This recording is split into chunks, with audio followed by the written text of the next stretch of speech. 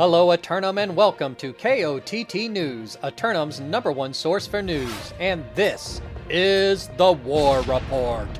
No change in the dynamic of Aeternum last night, as you might expect after a night of peace.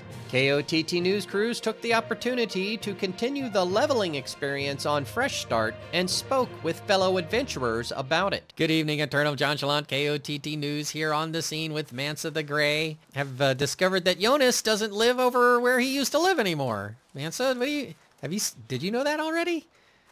Uh, yes, I did. I had to confront him several times since I've been here, and uh, he didn't disappoint. I am trying to locate the Soul Wardens, if you're familiar with the term, so that I can save this god-forsaken land. And Jonas is the man to see about it. Jonas is the guy to see about a about a fish, huh? All right, well let me see what he's up to. Hey, hey there, handsome. It's good to see you again. Away with you, ghost. Oh, you talking? Oh, he told me to step off. Turning to the weather, and today looks like the sun will swing through the air before gracefully disappearing to the east. Then be on the lookout for a 40% chance of invasion opportunity around the island. And be sure to sign up.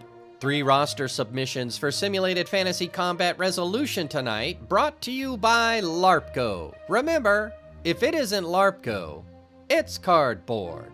First up, the Covenant forces of Here Be Monsters Sewage Department assail the Marauders of Nirvana for control of the master fishing port town of Reekwater. HBM Sewage Department have received several complaints from the citizens of Aeternum about the water management of the region, but they'll be bringing more than some simple pH testers. Nirvana forces have been fairly diligent in maintaining their hamlet infrastructure, but have they let the Tree City plumbing system fall into disrepair?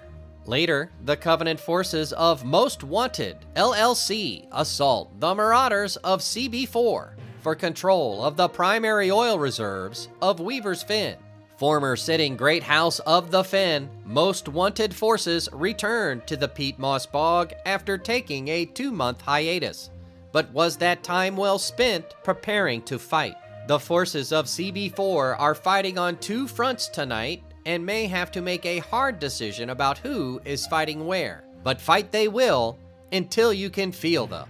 In the nightcap, the Marauders of CB4 attack the Covenant forces of Tropical X for control of the rain-drenched region of Morningdale.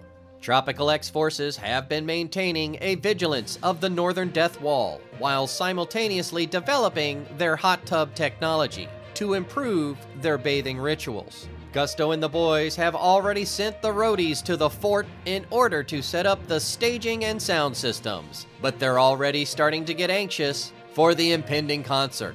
We'll have any late breaking outcomes and reactions from the citizens tonight at 11. Until then, this has been War Correspondent John Chalant, KOTT News.